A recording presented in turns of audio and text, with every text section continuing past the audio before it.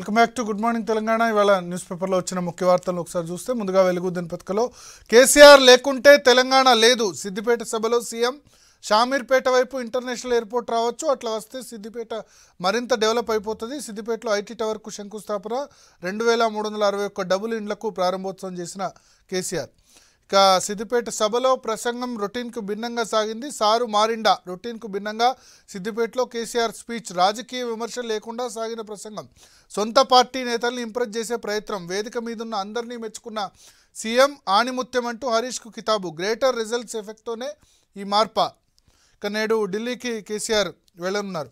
అదేవిధంగా కేసీఆర్ లక్ష కోట్లు ఎట్లొచ్చినాయి? నీ ధ్యాసంతా డబ్బు పదవులు కుటుంబంపైనే అంటూ విజయశాంతి విమర్శించారు. నిన్నిక రాష్ట్ర ప్రజలు భరించలేరు. నమ్మించి మోసం చేయడంలో కేసీఆర్ దిట్ట నాపై ఎన్నో కుట్రలు చేశారు. అమరుల శవాలపై కూర్చొని పాలిస్తున్నారు. దోచుకున్న డబ్బు ప్రజలకు పం పంచాల్సిందే అంటూ విజయశాంతి ఆరోపించారు.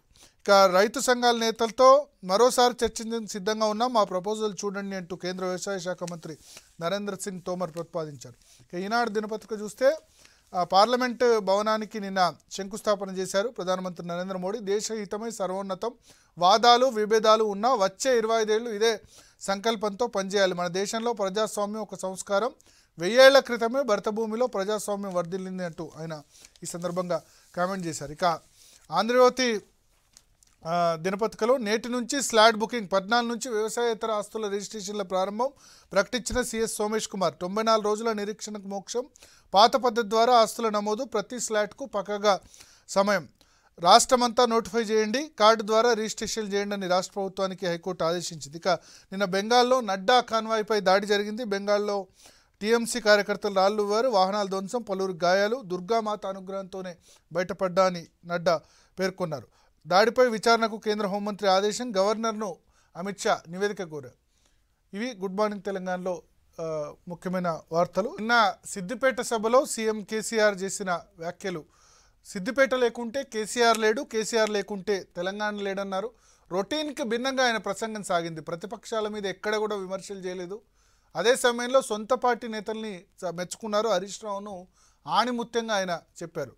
జిహెచ్ఎంసీ ఎలక్షన్ ఇంపాక్ట్ కేసీఆర్ మీద ఏమైనా పడిందా అన్న అంశం మీద చర్చించేందుకు మనతో పాటు ఏఐసిసి కార్యదర్శి సంపత్ కుమార్ గారు. అదేవిధంగా బీజేపీ నుంచి ఆ party spokesperson Palvai Rajani గారు టీఆర్ఎస్ నుంచి మాజీ ఎంపీ సీతారాం నాయక్ గారు ఉన్నారు. ముందుగా సంపత్ గారు ఎస్ నిన్న మాట్లాడారు సిద్దిపేట లేకుంటే కేసీఆర్ లేడు కేసీఆర్ లేకుంటే తెలంగాణ లేడు అని చెప్పి. అట్లాగే హరీష్ రావును కూడా మెచ్చుకున్నారు ఆణిముత్యం అంటూ.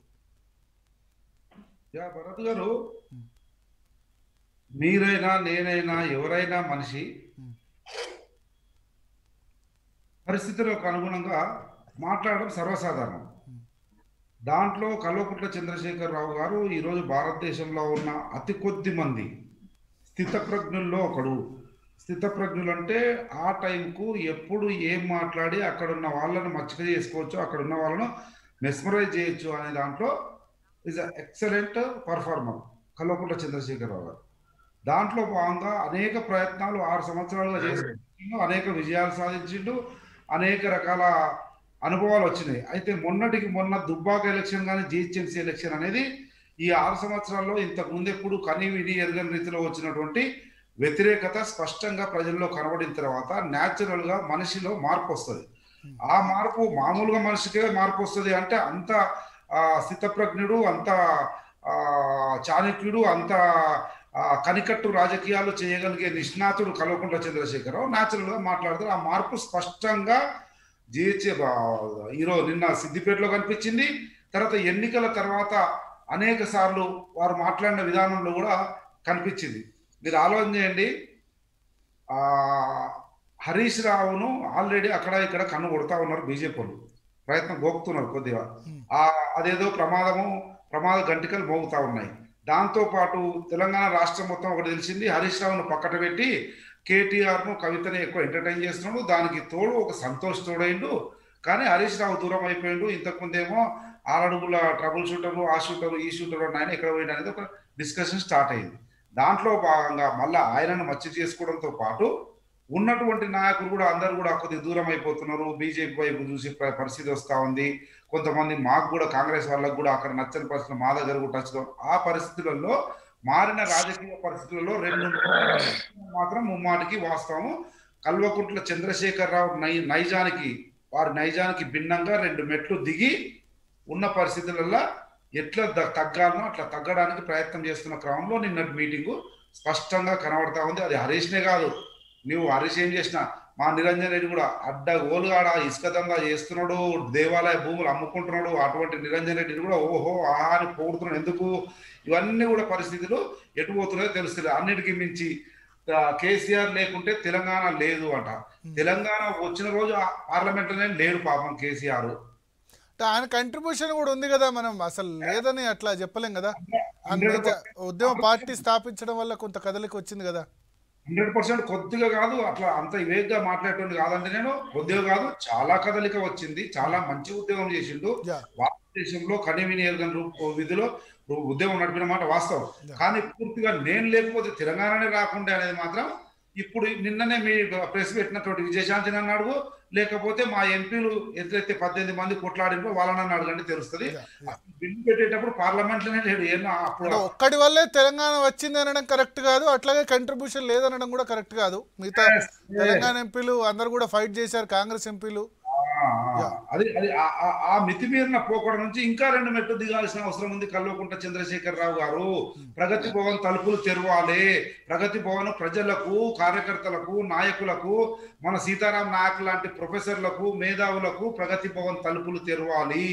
మాట్లాడాలి వినాలి. ఇప్పుడు తెరచలేదంటారా ఇప్పుడు తెరచలే లేదంటారా సీతారాం నాయక్ లాంటి వాళ్ళకు?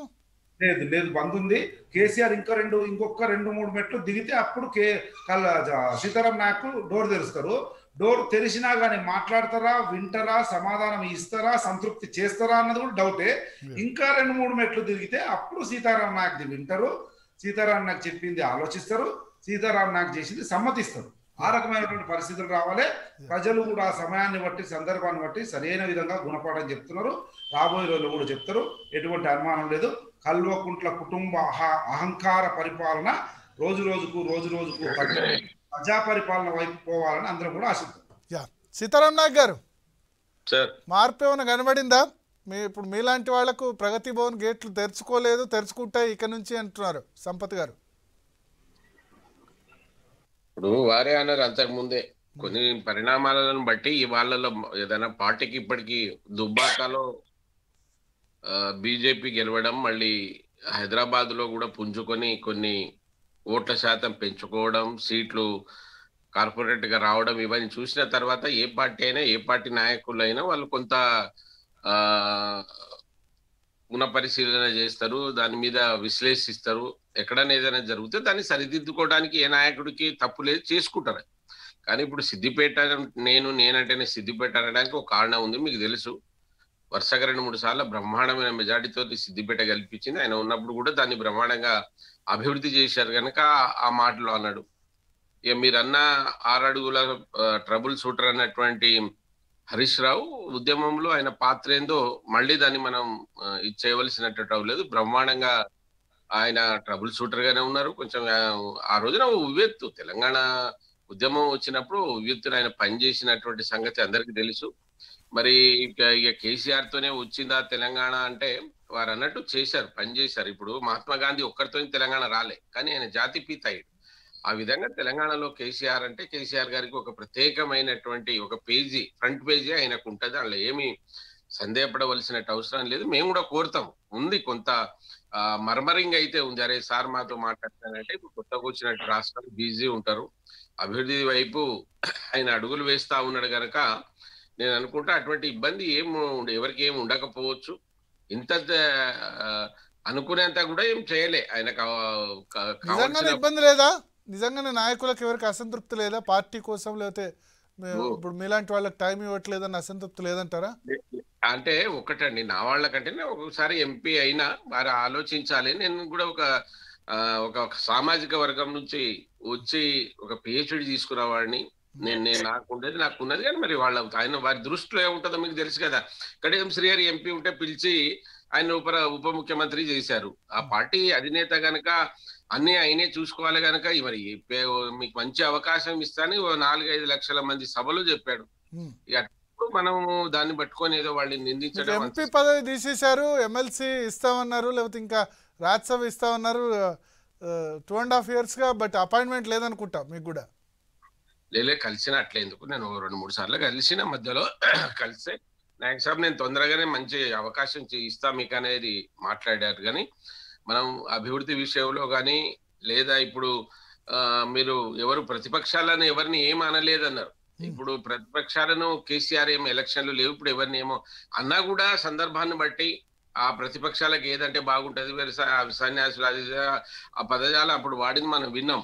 కానీ ఇప్పుడు బీజేపీ కాంగ్రెస్ కూడా అవసరం లేదు పాపం. వాళ్ళు ఎంత మాట్లాడాలనో వాళ్ళకు ఉన్నటువంటి చరిత్రను బట్టి వాళ్ళు మాట్లాడుకుంటా వస్తా ఉన్నారు. ప్రజలు మొదటి రోజు జిహెచ్ఎంసీ ఎలక్షన్స్ తర్వాత ఫస్ట్ డే ఏమో ధర్నాకు రైతు బంధుకు మేము సపోర్ట్ అన్నారు. సెకండ్ డే పార్లమెంట్ నిర్మాణం జరిగి తీరాల్సిందే దానికి సపోర్ట్ చేస్తున్నాను లెటర్ రాశారు. ఇవాళ ఢిల్లీ పోతున్నారు. ఏమైనా అగ్రెసివ్ స్టాండ్లో ఏమైనా బీజేపీ మీద తీసుకున్న ఒక లాస్ట్ త్రీ ఫోర్ మంత్స్గా తీసుకున్న అగ్రెసివ్ స్టాండ్లో ఏమైనా మార్పు వచ్చే అవకాశం ఉందా? భరత్ గారు మీరు గమనించాలి దేశంలో భారతీయ జనతా పార్టీ ఇప్పుడు బలంగా ఉంది. అందులో ఏం సందేహం లేదు.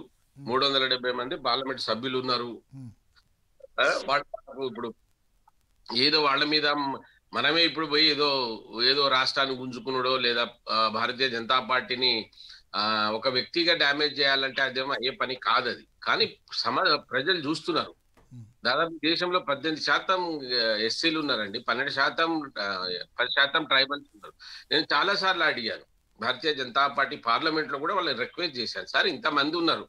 మీ పాలసీలు ఏంటి? ఏం చేశారు? ఈ ఆరు ఏడు సంవత్సరాలు ఒక్క పాలసీ చెప్పమన్నా నేను.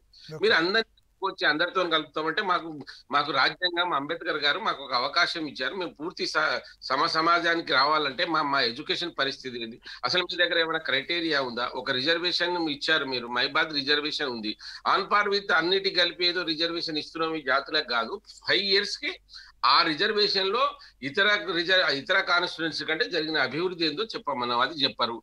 కేసీఆర్ మనసులో ఒకటి ఉందండి. ఆయన చాలా సార్లు భోజనాలు చేస్తున్నప్పుడు మేము ఉన్నప్పుడు అప్పుడు కలిసి తరచుగా కలిసినప్పుడు మాట్లాడేది. లేదండి ఈ దేశానికి ఇంకొక ప్రత్యామ్నాయంగా ఒక ఫెడరల్ ఫ్రంట్ కావాలి. ఓ పార్టీ ఆ పార్టీ కాకుండా ఈ పార్టీ ఈ పార్టీ కాకుంటే ఆ పార్టీ. ఇప్పుడు ఈ ముద్దు ఎత్తేసి ఆ ముద్దు ఎత్తుకోవాలి ఆ ముద్దు ఎత్తేసి ఈ ముద్దు ఎత్తుకోవాలి. డిసెంబర్ సెకండ్ వీక్ అయిపోవచ్చింది మరి కాన్క్లేవ్ అన్నారు హైదరాబాద్లో డిసెంబర్. సెకండ్ వీక్ అయిపోవచ్చింది ఇంకో రెండు రోజుల్లో అయిపోతుంది డిసెంబర్ సెకండ్ వీక్. అయినా హైదరాబాద్ పోవడానికి నాను అనుకుంటా అక్కడ కొంత ల్యాండ్ ఇచ్చారు. ఇంత ముందు మనకు ఏపీ భవన్ ఉండే కదా. బ్రహ్మాండం భవన్ అప్పుడు మనం కట్టుకున్నాం. అది దురదృష్టమే. పార్టీ ఆఫీస్ కోసం స్థలం ఇచ్చారు ఎస్ దానికి దాని గురించి వెళ్తున్నారు. దాని గురించి వెళ్తున్నారు. మన దురదృష్టం ఏంటంటే అప్పుడు హైదరాబాద్ హౌస్ అని ఉండేనండి అది అసలు ఢిల్లీలోనే అటువంటిది లేదు. అది ఏదో అంతర్జాతీయంగా మన నాయకులే దాన్ని ఏదో వాళ్ళకి ఇచ్చేసి ఇప్పుడు మనం కూడా అటువంటిది కట్టుకోవాలి. ముఖ్యమంత్రిగా ఉన్నప్పుడు ఢిల్లీకి వెళ్తారండి. అది మన క్యాపిటల్ వాళ్ళ. పడ్డా కూడా మాట్లాడినా ఏదో మంత్రిని కలవంది పనులు కావు. కలవాలి. ఆ- సంబంధాలు ఆ సత్సంబంధాలు లేకుండా మనం ఏదో అలిగి కూర్చుంటే ఇది కాదు. ముఖ్యమంత్రి గారు పోయింది.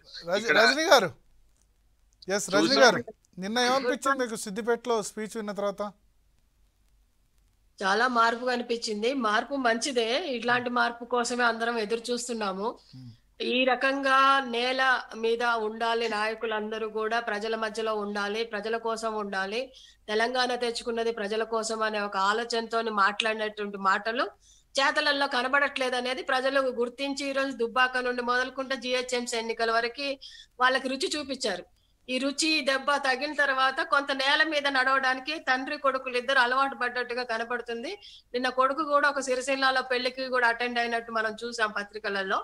సో ఇలాంటి మార్పు కోసం అందరం ఎదురు చూస్తున్నాం. ఇంకా రావాలి మీరన్న ఈ మార్పుతో సరిపోదు. ఏంటంటే ప్రజల మధ్యలో నాయకుడు ఉండాలి. ఇప్పుడేదో జిల్లాల శ్రీకారం కూడా చుట్టారు. ఇదంతా ఏదో మారిపోతున్నది. తెలంగాణలో మనం ఊహించిన దానికి భిన్నంగా ప్రజలందరూ మనకు వ్యతిరేకంగా ఉన్నారు అనే ఒక ఆలోచనతో ఈరోజు కేసీఆర్ గారు ఆలోచనలో పడ్డారనే విషయాన్ని స్పష్టంగా ప్రజలు గుర్తించారనే విషయాన్ని కేసీఆర్ గారు గుర్తించారు. కాబట్టి ఇప్పుడు ఏం చేస్తున్నాడు ఆయన? ఏదో మార్పు జరిగింది నాలో అని చెప్పి తెలపడానికి ఏదో చెప్పారు కానీ భరత్ గారు మనం ఆలోచించాలి ఈ రోజు. ఆయనలో మార్పు వచ్చి ఉంటే డిసెంబర్ సెవెంత్ నే నేను పదివేల రూపాయలు ఇస్తాను జిహెచ్ఎంసీ ఎన్నికలు అయిపోయినాకనే మేము మేమే అధికారంలో ఉన్నాము మేమే చేస్తామని చెప్పేసి మాట్లాడినటువంటి వ్యక్తి డిసెంబర్ ఏడు అయిపోయి కూడా చాలా రోజులు అవుతుంది ఆ రెండు లక్షలు అంటే ఇప్పుడు పదివేలు అంటే ఒక లెక్క కాదు. ఇంకో రెండు వందల కోట్లు ఇస్తాను ఇంకో మూడు వందల కోట్లు ఇస్తాను ఏముంది? ప్రజల కోసం నేను ఏమైనా చేస్తాను? అని చెప్పేసి మాట్లాడినటువంటి నాయకుడు ఈ రోజు పదో తారీఖు పదకొండో తారీఖు వచ్చినా కూడా ఇంతవరకు అటువైపు ఆలోచన చేయట్లే. మరి మార్పు అనేది మాటలలోనే కనిపిస్తుందా? లేకపోతే చేతలలో కూడా కనిపించాలా? తర్వాత సీతారాం నాయక్ లాంటి నాయకులే ఈ రోజు ఆయన అపాయింట్మెంట్ దొరక్క నెలల తరబడి సంవత్సరాల తరబడి వెయిట్ చేస్తున్నారంటే మామూలు ప్రజానికం యొక్క పరిస్థితి ఏ రకంగా ఉందో తెలంగాణలో మనం అర్థం చేసుకోవాలి. ఇంతకు ముందు ఏ ముఖ్యమంత్రి ఉన్నా కూడా గతంలో ఉన్నటువంటి రాజశేఖర రెడ్డి గారు కానీ చంద్రబాబు గాని కిరణ్ కుమార్ రెడ్డి కానీ ఎవరున్నా కూడా ప్రజల కోసం ఒక రోజు పెట్టుకొని గ్రీవెన్స్ డే లాగా పెట్టి ప్రతి రోజు ఆ రోజు తప్పకుండా ప్రజలకు ఉన్నటువంటి ఇబ్బందులన్నీ కూడా చెప్పుకోవడానికి ఒక అవకాశం ఉండేది. ఆయన ప్రగతి భవన్ దాటి సెక్రటరియట్కి రాడు అని మర్చిపోయాడు. సెక్రటరియట్ అనేది ఒకటి ఉందనే తెలంగాణ ప్రజలు కూడా మర్చిపోయే పరిస్థితికి ఈ రోజు వచ్చారు. సో ప్రగతి భవన్లో ఉన్న అటువంటి అవకాశం ఉందా అంటే అసలు మంత్రులకే అవకాశం లేదు. ఇక ప్రజల గురించి ఏం మాట్లాడతాం? కాబట్టి ఇంకా మనం ఆలోచించాల్సింది అంటే ఆ మార్పు మాటలలో కాదు చేతలలో కనిపించాలి. ఈ రోజు రాష్ట్ర వ్యాప్తంగా ఇప్పుడు సంపత్ గారు చెప్పినట్లు శాండ్ అనేది ఒక గోల్డ్ మైన్ లాగా అయింది. ఈ రోజు శాండ్ విపరీతంగా శాండ్ దోచుకోవడం కోసం అన్ని ప్రాంతాలలో ఇంక్లూడింగ్ మా తుంగతుర్తి నగరికల్లో కూడా ఈ రోజు పెద్ద ఎత్తున శాండ్ దోపిడీ జరుగుతుంది.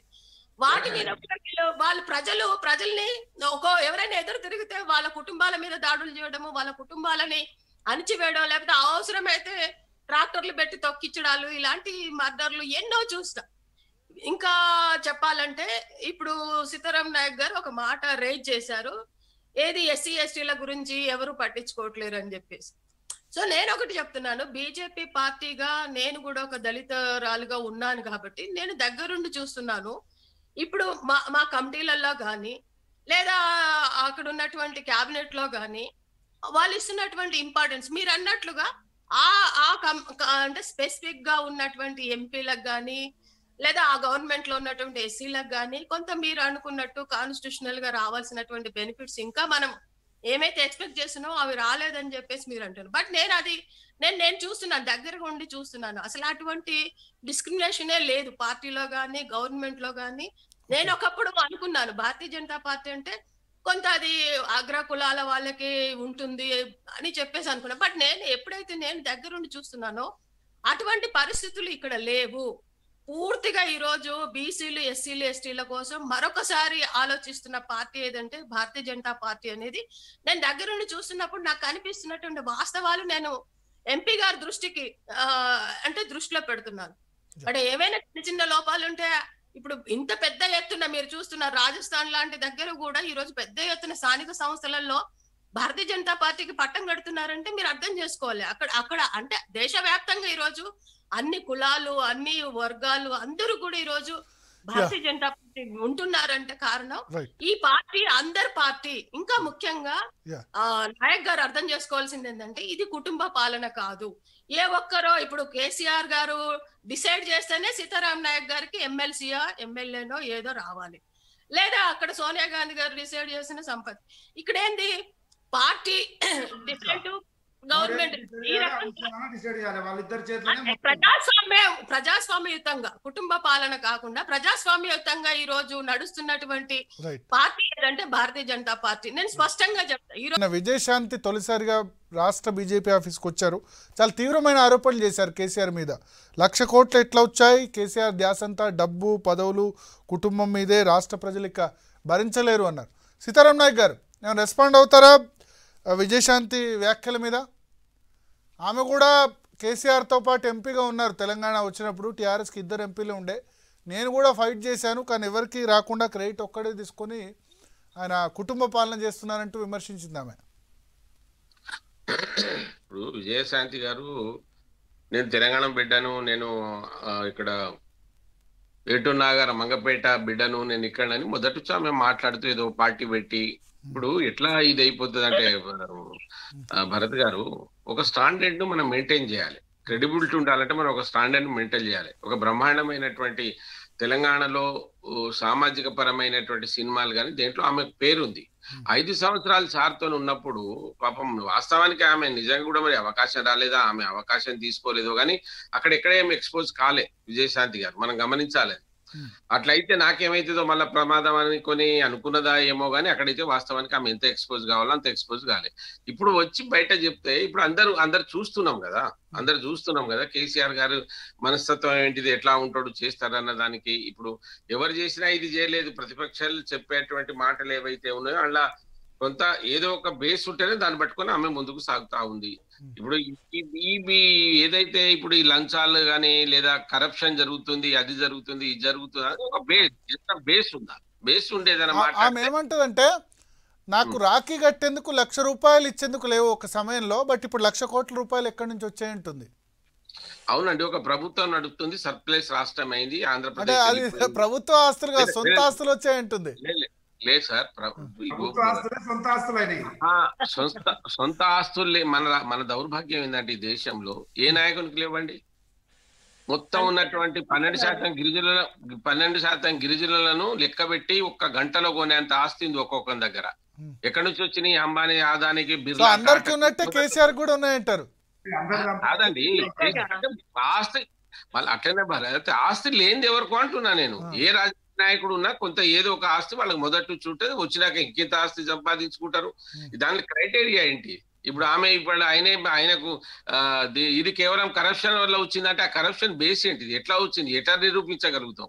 ఇవన్నీ ఒకటి ప్రజలకు ఒక అవకాశం ఇచ్చి మళ్ళీ మాట్లాడేటప్పుడు మనల్ని దూషించి మాట్లాడించుకునేటువంటి పద్ధతి తప్ప స్పెసిఫిక్గా మాట్లాడండి. మీరు ఐదు సంవత్సరాలు ఉన్నప్పుడు మీరు ఏం చేయగలిగితే కేసీఆర్ ఎక్కడ అడ్డుపడ్డాడు? చెప్పగలుగుతావా? అది చెప్పాలి కదా నువ్వు. నువ్వు పెట్టిన ప్రపోజల్స్ ఏంటిది? నేను చెప్తా నేను చెప్తా బై పదకొండు ఏకలవ్య స్కూల్ తీసుకొచ్చిన నేను ఇంకా నేను ఇట్లా మీసాలు తిప్పి మనం చెప్పమంటే చెప్ చెప్తా. పదకొండు ఏకలవ్య స్కూల్ తీసుకొచ్చిన. రెండు కేంద్రీయ విద్యాలయాలు తీసుకొచ్చిన. నేషనల్ హైవే నా దగ్గర ఎన్నో సంవత్సరాలు మురుగుతుంది మనం ఏదైనా చెప్పగలగాలి. ఇది చేసినామని ఆ పాటలో ఉన్నప్పుడు చెప్పి అంటే నన్ను మీరు చేయని విజయశాంతి ఏం విజయశాంతి ఏం పదవిలో లేరు కదా లాస్ట్ సిక్స్ ఇయర్స్లో ఆమె ఓడిపోయారు టూ థౌసండ్ ఫోర్టీన్ ఎలక్షన్. లేదు లేదండి. ఆమె కంటెస్ట్ చేయలేదు. భయ్యా ఐదేండ్లు ఆమె ఎంపీగా ఉన్నారు కదా తెలంగాణలో. ఆమె two thousand nine to fourteen ఉన్నారు. ఆ సమయంలో ఆ. ఆ సమయంలో కాంగ్రెస్ అధికారంలో ఉంది కేంద్రంలో రాష్ట్రంలో. మొత్తం ఉద్యమం. కోసమే ఫైట్ చేశారు కదా. లేదండి అప్పుడే ఎక్కువ పనులు చేసుకోవచ్చు. అటువంటి సమయంలో ఎక్కువ పనులు చేసుకోవచ్చు. ఎంపీలు ఎందుకు చేసుకోరా? మేము చేయలేదా. నీకు లిస్ట్ ఇస్తాను నువ్వు పరిశాన్ అవుతావు. అని అన్ని పనులు చేసిన నేను. ఎందుకు చేయలేదు? మనకు ఆ శక్తి. అన్ని పనులు చేసినా నగర్ మీకు టికెట్ ఇవ్వలేదు. అన్ని లేదు, పనులు చేసినా పార్టీ గుర్తించలేదు టికెట్ ఇవ్వలేదు. అక్క మా రజనీ అక్కను సంపత్ భాయ్ అడగాలి. బాక్రానంగల్ డ్యామ్లో రిజర్వేషన్ లేదు. నేను నేను గల్లా ఎగరేసుకొని చెప్తా అక్కడ రిజర్వేషన్ ఢిల్లీ యూనివర్సిటీలో రిజర్వేషన్ లేదు సార్. సంపత్ గారు. అట్లా కాదు కదా. మేము ఇది చేసినాం. ఇక్కడ అడ్డుపడ్డాడని ఏమైనా చెప్పేది లేదు. ఉట్టిగానే ఏదో నేను మళ్ళీ పార్టీ విజయశాంతి కాంగ్రెస్ వీడి. బీజేపీలో జాయిన్ అయ్యారు. ఆమె అంటారు కాంగ్రెస్ టిఆర్ఎస్ మ్యాచ్ ఫిక్సింగ్ ఉందని కూడా ఆరోపించారు నిన్న. బేసికల్లీ నేను కూడా చూశాను భరత్ గారు Hmm. కాంగ్రెస్ పార్టీలో ఉన్నప్పుడు Hmm. కాంగ్రెస్ పార్టీ వేదికలో కోర్ కమిటీలో కూడా స్పెషల్ ఇన్వైట్గా అనేక సార్లు విజయశాంతి గారికి మెసేజ్ పంపించినాం Hmm. ప్రధానమైనటువంటి చర్చలు ఉన్నప్పుడు మేము ఒక పది మంది కూర్చొని మాట్లాడుకునేటువంటి ఏదైతే కోర్ కమిటీ దాంట్లో కూడా అనేక సార్లు ఇన్వైట్ చేసినాము దాంట్లో వచ్చి మాట్లాడి ఇలా ఇలా జరుగుతుంది ఇలా ఇలా ఉంది అని చెప్పి ఉండి ఉంటే దాన్ని సరిదిద్దడానికి ఏదైనా చర్యలు తీసుకోకపోతే అప్పుడు మీరు నిందించి ఇటువంటి మాటలు మాట్లాడడం బాగుండేది. కానీ ఇప్పుడు పార్టీ విడిచిపెట్టి పోయిన తర్వాత ఏదో బట్టగాల్చి మీదేయాలని ఏదో అనడము సమంజసం కాదు ఒకటి. ఇప్పటికైనా విజయశాంతి గారు ఆల్రెడీ భారతీయ జనతా పార్టీలో పనిచేసి వచ్చారు. కాంగ్రెస్ పార్టీలో కాంగ్రెస్ పార్టీ కూడా ఎస్ కాంట్రిబ్యూషన్ ఉంది వారిది. వారు కూడా వారికి కూడా చాలా ఇంపార్టెన్స్ ఇచ్చింది కాంగ్రెస్ పార్టీ. బట్ ఇప్పుడు జరుగుతున్నటువంటి ఆ పాల పొంగు లాంటి పరిస్థితి వచ్చింది ఇంపార్టెన్స్ ఇస్తే ఇంపార్టెన్స్ ఇస్తే ఎందుకు మారారు పార్టీని? దట్స్ వాట్ అదే. ఇప్పుడు ఆ పాల పొంగు లాంటి పరిస్థితి కనబడతా ఉంది తెలంగాణ రాష్ట్రంలో. ఏదో బీజేపీ పొంగి ఇట్లా పైకి వచ్చి ఇంకా పొర్లి ఇక భారతది మొత్తం తెలంగాణ రాష్ట్రం అనేటువంటి ఒక వాతావరణం క్రియేట్ అయినటువంటి సందర్భంలో పార్టీలు మారుతున్న చాలా మంది దాంట్లో విజయశాంతి గారు కూడా మార్- మారిండవచ్చు. రాబోయే రోజుల్లో వారి ఆ ఇది ఎలా ఉంటుందో చూసి దాన్ని బట్టి స్పందించవచ్చు. కానీ ఒకటి మాత్రం వాస్తవము. కేసీఆర్ గారికి ఆ రోజు లేని వీళ్ళు లక్ష కోట్లు ఎట్లా వచ్చింది మాకు చాలా సంతోషం. విజయశాంతి గారిని సేమ్ ఇదే గాంధీ భవన్లో ప్రెస్ మీట్ పెడితే కూడా ఎవరు అభ్యంతరం చెప్పేవాళ్ళు కాదు. ఈరోజు బీజేపీ ప్లాట్ఫామ్ మీద చెప్తా ఉంది. కానీ అది ఇక్కడ కూడా చెప్ప చెప్పడానికి అవకాశం ఉండే. అక్కడనే చెప్పేది లేదు. అక్కడ ఇప్పుడు గాంధీ భవన్లో నేను ప్రెస్ మీట్ పెడతా కేసీఆర్ను తిడతా అంటే ఎవరైనా కేసీఆర్తో మ్యాచ్ ఫిక్సింగ్ చేసుకుని లేదు లేదమ్మా కేసీఆర్ను తిట్టకూడదమ్మా కేసీఆర్కు వ్యతిరేకంగా మాట్లాడకూడదమ్మా గాంధీ భవన్ కేసీఆర్కు వ్యతిరేకంగా మాట్లాడేది కాదమ్మా అని ఎవరైనా అన్నారా? మేము మాట్లాడతాడేమా రోజు? కేసీఆర్ను కల్వకుంట్ల కుటుంబాన్ని టీఆర్ఎస్ పరిపాలన రోజు ఎండగడతానే ఉన్నాము. నో బడీ సేయింగ్ నో కానీ వారన్న దాంట్లో కూడా ఒకవేళ అటువంటి పరిస్థితి ఎక్కడైనా ఎవరైనా కొందరు వ్యక్తులు ఎక్కడైనా కుమ్మక్క ఉండవచ్చు. కానీ టోటల్ పార్టీగా కుమ్మక్క అయిందని మాత్రం తప్పు. దాన్ని నేను ఖండిస్తా. వ్యక్తిగా ఎవరైనా ఉండొచ్చు ఆ పార్టీలు ఈ పార్టీలు ఉంటారు ఈ పార్టీ అక్కడ ఇక్కడ అటు ఇటు చేసేటోళ్ళు ఉంటారు అది ఇంతే ఉండొచ్చు కానీ పార్టీగా మాత్రం we are not fixed with any political party Congress is Congress definitely Congress will be Congress Yeah. For the Congress no issue Yeah. కానీ ఇదే విషయం ఇక్కడ కూడా మాట్లాడే అవకాశం ఉండే. చలో టైం విల్ కమ్ బ్యాక్ ఆమె కూడా పశ్చాత్తాపడే పరిస్థితి వస్తుండొచ్చు. కాంగ్రెస్ పార్టీలో కూడా ఒకవేళ అవే నిజమైనైతే అవన్నీ కూడా సరిదిద్దుకొని పోవాల్సిన అవసరం ఉంటుంది పోతాం. రజనీ గారు పాల పొంగు లాంటిది బీజేపీలో ఈ నాయకుల చేరిక అంతా పాల పొంగు లాంటిదే అంటున్నారు సంపత్ గారు. వాళ్ళకి ప్రజాస్వామ్యం మీద అవగాహన ఉన్నా ప్రజాస్వామ్యం మీద గౌరవం ఉన్నా ఆ రకంగా గారు మాట్లాడుతున్నారు అది తప్పకుండా అటువంటి ప్రజాస్వామ్యాన్ని గౌరవించే వాళ్ళు ప్రజలు ఇచ్చినటువంటి నిర్ణయాన్ని మనం ఎట్లా తప్పుపడతాం ఇది పాలపొంగని ఎలా అంటాం? ప్రజలందరూ ఈ రోజు బీజేపీ వైపు ఉన్నారంటే కరెక్ట్గా ప్రజాస్వామ్యయుతంగా ప్రజలు బీజేపీకి పట్టం కడుతున్నారు. దాన్ని గౌరవించాలి. తర్వాత ఇంకోటి నిన్న ఆ స్పష్టంగా విజయశాంతి గారు చెప్పారు లక్షల కోట్ల ఆస్తులు ఈ రోజు సమకూర్చుకున్నారు. నేను ఆ రోజు కష్టపడ్డ టైంలో చాలా చాలా విషయాలు ఆవిడ చెప్పారు. అనర్గళంగా చాలా విషయాలు ఆవిడ ఫేస్ చేసినటువంటి చాలా అంశాలు ఆ రోజు ఈ రోజు నిన్న చెప్పినటువంటి పరిస్థితి. సీతారామయ్య గారు గారు అన్నిటికీ అడ్రస్ చేయలేనటువంటి పరిస్థితి ఆయన మాట్లాడారు. ఎందుకంటే టిఆర్ఎస్ పార్టీలో ఆయన భాగస్వామ్యంగా ఉన్నాడు కాబట్టి వాళ్ళ నాయకుడికి ధిక్కరించి మాట్లాడే పరిస్థితులు వారికి ఉండవు. కానీ వాస్తవాలు వారికి కూడా తెలుసు. ఈ రోజు ఎన్ని లక్షల కోట్ల రూపాయలు బిడ్డ కొడుకు అల్లుడు ఇంకొక కొడుకు అందరూ కలిసి ఏ రకంగా తెలంగాణనంతా దోచుకుంటున్నారు? ఎందుకు దోచుకుంటున్నారు? దోచుకు నిన్న జరిగినటువంటి ఫ్లడ్ దాంట్లో కూడా వీళ్ళు దోచుకున్నటువంటి పరిస్థితులు. లేదక్క దోచుకున్నారంటే ఏదైనా బేస్ ఉండాలి. మీరు ఏదైనా ప్రూఫ్ చూపెట్టాలి కదా. లక్షల కోట్లు ఎక్కడ ఉన్నాయి? ఎక్కడ ఉన్నాయి? ఎక్కడ దోచుకుంటున్నారు? అక్క? మీరే చెప్పండి. నిన్న జరిగిన ఫ్లడ్ ఫ్లడ్ దాంట్లో ఎత్తున దోపిడీ జరిగిందని చెప్పి బేస్ లేకుండా దోచుకున్నారంటే ఎట్లా మీరు బేస్ చూపెట్టండి. ఇది ఇది ఇక్కడ ఇగో ఇన్ని కోట్లు వచ్చినాయి. ఆధారం ఉందా? ఒక్క నిమిషం ఒక్క నిమిషం. మీరు మీరు చాలా చాలా మాటలు మాట్లాడారు. బీజేపీ గురించి కూడా మాట్లాడారు. నేను కూడా క్వైట్గా ఎందుకున్నానంటే నేను కూడా ఆ రకంగా ఆన్సర్ ప్రజలకు ఇవ్వాలని చెప్పేసి. ఇంకోటి మీరు చెప్పారు ఏకలవ్య స్కూల్ మా ఎంపీ పరిధిలో పదకొండు ఏకలవ్య స్కూల్స్ తీసుకొచ్చాము. థ్యాంక్ యూ టు మీరు ఆ మాట చెప్పినందుకు కూడా నేను మీకు థ్యాంక్ చెప్తున్నాను. ఎందుకంటే బీజేపీ గవర్నమెంట్లో ఉన్నప్పుడు జరిగినటువంటి అభివృద్ధిలో భాగంగా మీ దగ్గర నేషనల్ హైవే వచ్చింది మీ దగ్గర స్కూల్స్ వచ్చాయి ఇది రాష్ట్ర వ్యాప్తంగా కూడా ఉన్నటువంటి పరిస్థితి. ఇక్కడ మేము మేము అందుకే నిన్న విజయశాంతి గారు ప్రశ్నించింది కూడా అంతే. ఈ రోజు నేను బీజేపీ పార్టీలోకి ఎందుకు వస్తున్నాను అని చెప్పడానికి స్పష్టంగా ఆవిడ చెప్పింది ఏంటంటే కాంగ్రెస్ పార్టీలో ఉన్నటువంటి కుమ్ములాటలు ఎవరైతే నాయకత్వం వహిస్తున్నటువంటి నాయకుడు ఎవరైతే పిసిసి అధ్యక్షుడు ఉన్నారో ఆ రకంగా ఫైట్ చేయట్లేరు. కేసీఆర్ చేసినటువంటి వాటి మీద ఇప్పుడు సంపత్ గారు ఎండగడుతున్నారు. డెఫినెట్గా ఎండగడుతున్నారు. ప్రజా టిఆర్ఎస్ పార్టీ మీద ప్రభుత్వం మీద వాళ్ళు ఎప్పటికప్పుడు వాళ్ళ గలం ఇప్పుతున్నారు ఆయన అరెస్ట్ అయినటువంటి సందర్భాలు కూడా ఆ స్థాయిలో మీ నాయకులు ప్రయత్నాలు చేయట్లేరు. ఆ స్థాయిలో మీ నాయకులు అందరూ పోరాటం చేయట్లేరు.